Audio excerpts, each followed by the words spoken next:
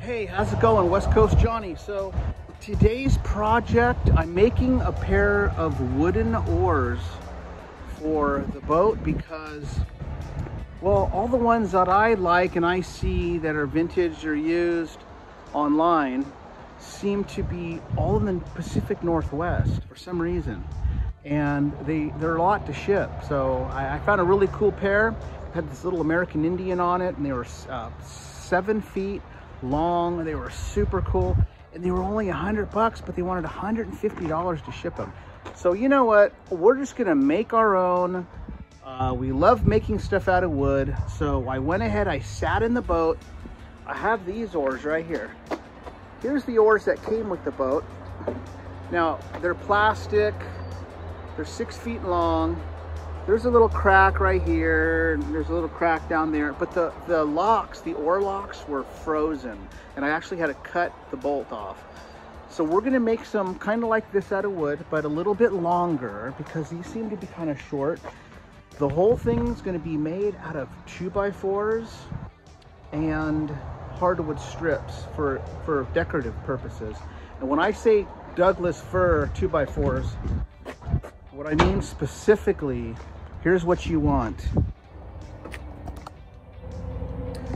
Okay, so what you're looking for when you buy your 2x4 at the uh, lumber yard or uh, home improvement center, you want to make sure it's kiln dried.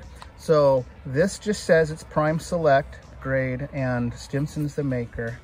This is certifying it. Um, it's a sourcing certification, okay? And then this one right here, they're saying it says Stimson stud. Stud means it's 92 and a quarter which is what you need. You don't need a full 96 inch, eight foot board. So buy this one, but see that right there says KD? That's what you want because the KD stands for kiln dried, which means the wood is nice and it's, it, oh, I gotta always use straight wood, but see how straight it's has no moisture in it. It's not uh, what the lumberyard would call green lumber, which means it's not still wet and really heavy because it just came out of the tree. The problem with that is when you cut it and shape it and sand it and do it everything you want while it's green, what happens is as it dries, the wood will start to curl or bow. It does, you know, it's notorious for that. So uh, you don't you don't want to do that unless you uh, get your kiln dried wood. Then you won't have to worry about those issues. So we're going to go ahead and start the layout. Okay, well the first step we're going to do, we're going to get one of these two by fours.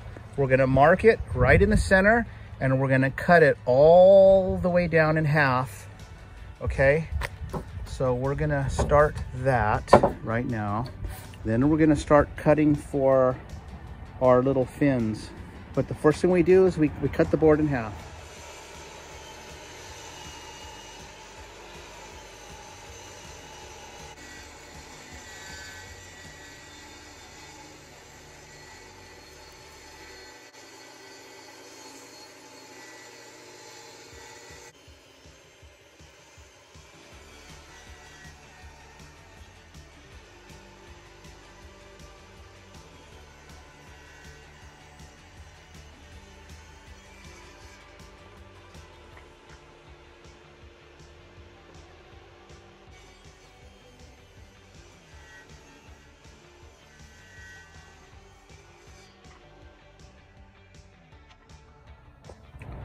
Okay, so now we're just gonna do a layout. What we have here is uh, three pieces of Douglas fir, kiln dried with no eased edges, which means it's square on all corners. See that?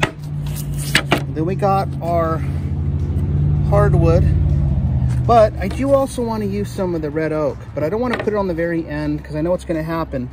If I put it on the very end, most of it's going to get removed when it gets shaped. So I'm going to put the red oak, I'm probably going to put it in the middle of these, which means I'm going to have to cut these on the saw. So let's do that real quick. Okay, well, I got the layout. And once it's all pushed together with the glue and the clamps, it should be right at six inches. There's a little space in between the boards. But here's what we have.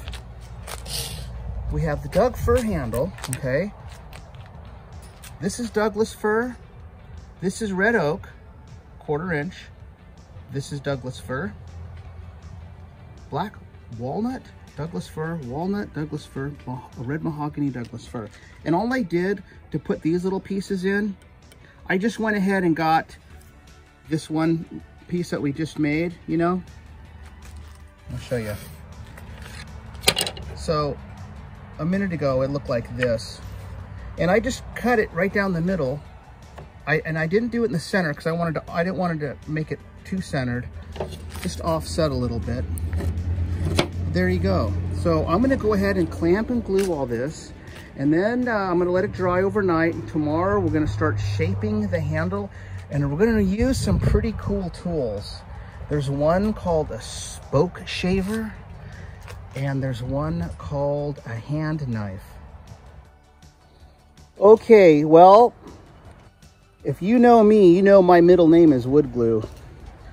And I can't stress the importance of using enough wood glue on this project because it's gonna be the only thing fastening this wood together. We're using no screws or nails or anything, just glue. So we're actually gonna brush this on with a little brush and we're gonna hit every single surface of every single side, okay? Um, there's a little trick where you can get the wood, you can get the wood wet first, but not wet, but just a little bit damp and it's supposed to make the glue work better. I might do that because these oars got to be really strong.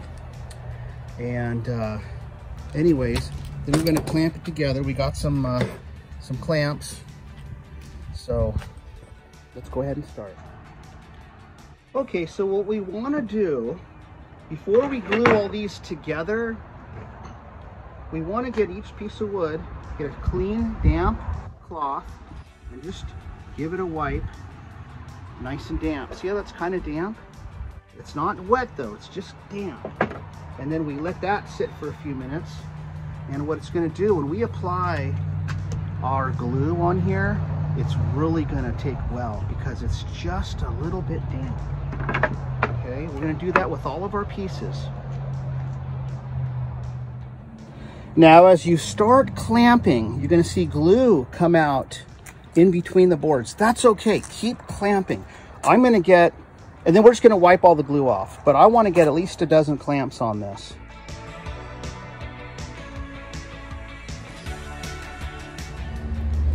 Okay, well, we got one of the oars all laid out and here it is. So we have our uh, different, you know, cuts of wood and it's glued very well, clamped really well. Like I said, there'll be no fasteners anywhere on this. Nothing holds these together but the glue. And uh, so here's one. I'm gonna go ahead and start on the second one. And I'm gonna let this probably sit overnight I'll bring it in the shop and just let it harden, maybe even for a couple days. Um, I know glue dries, they say in two hours, but I really want this to kind of set and cure for a good day or two.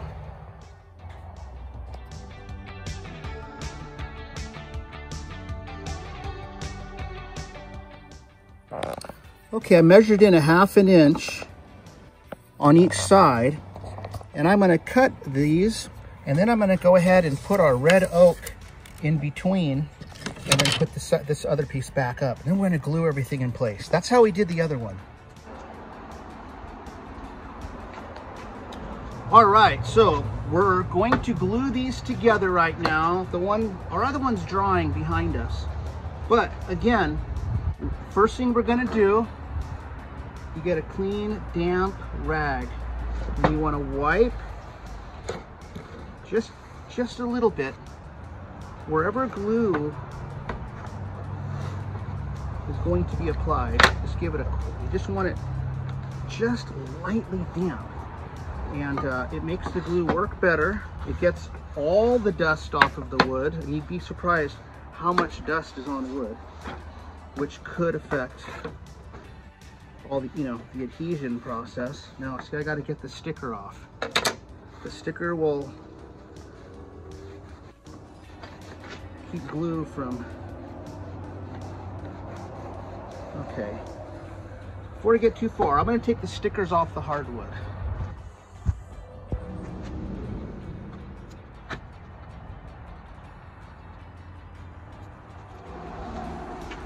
All right, we got the stickers off the hardwood. We're wiping down both sides with a clean, damp cloth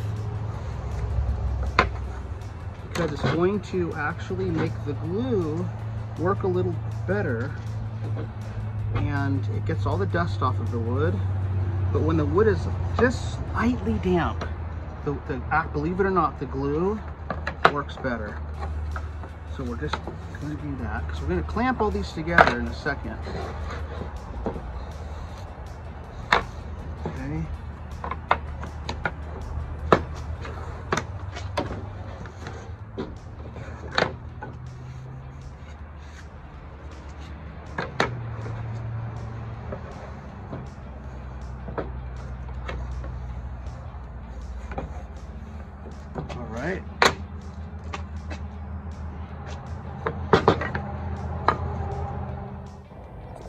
All right, we got our pieces how we want them. This is our second oar, okay?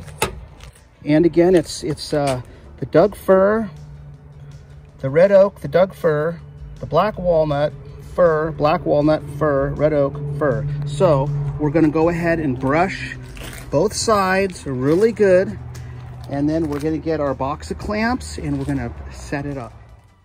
Okay, here's an example of what I mean when I say let's put the glue on. See how I brushed the glue on, okay, it's completely on that surface. That's how you want it to be, okay? You don't want to just put a little on your finger and kind of dab it around because this, like I said, is only going to be held together with glue, okay?